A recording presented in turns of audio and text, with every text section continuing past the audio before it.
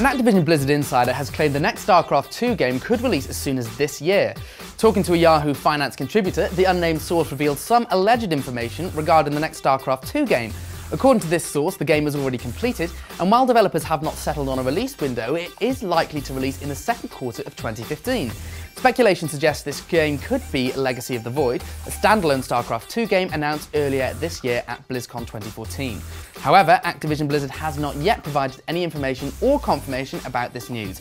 IGN has reached out to Blizzard for comment and will update this story with any additional info.